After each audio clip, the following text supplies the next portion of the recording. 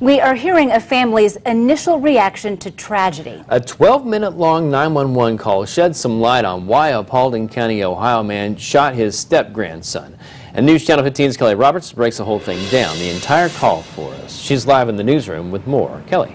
Brett and Heather, the 911 call depicts a tragic and somewhat chaotic scene moments after William Miller says he shot 19-year-old Evan Holcomb. He tells dispatchers that right away, and you can hear crying in the background. A warning, some of this may be disturbing. 911. I just shot a little son of a bitch in my house. You did what? I just shot somebody. A Thursday night 911 call is shedding some light on why William Miller says he shot his wife's grandson inside his Paulding County home. Why did you shoot someone? I told him to get the hell out of my house and he didn't leave. A probable cause in the case does not elaborate on why Miller wanted Evan Holcomb out of his house. Miller was supposed to be in court earlier this week, but it was postponed because he had not been released from a medical treatment facility. I don't know. I shot him in the chest, I think. You shot him in the chest? Yes.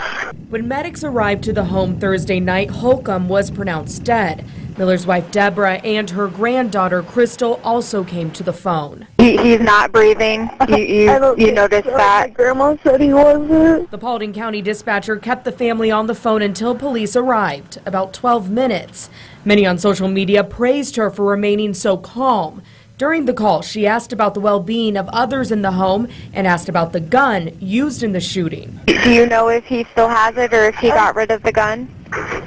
Where's, where's the gun at? Where's the gun at?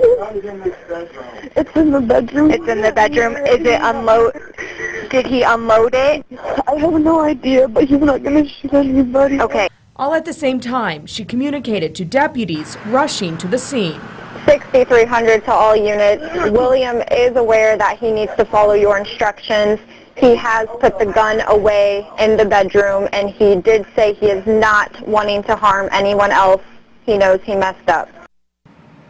I did reach out to some of Evan Holcomb's family members for a comment. However, they do not want to speak at this time. Live in the newsroom, Kelly Roberts, News Channel 15.